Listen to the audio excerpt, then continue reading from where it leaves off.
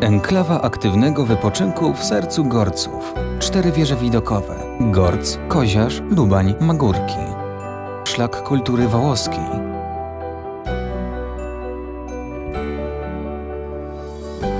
Cztery altany widokowe.